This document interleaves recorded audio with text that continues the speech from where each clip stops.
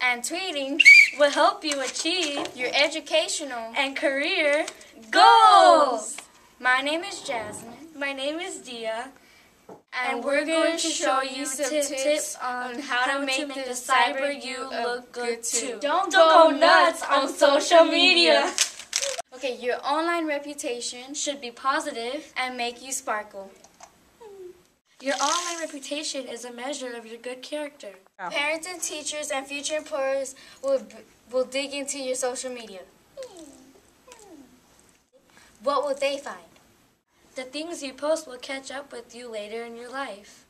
Think before you post a picture. If your bathing suit doesn't cover it, Don't post it! There are certain things you have to keep private. Like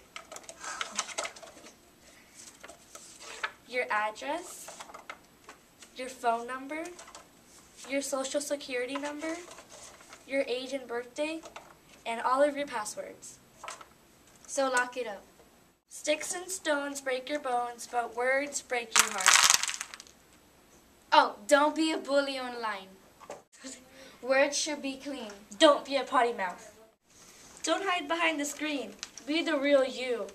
Your online reputation should sparkle like a diamond. What you post on social media is who you are. Are you?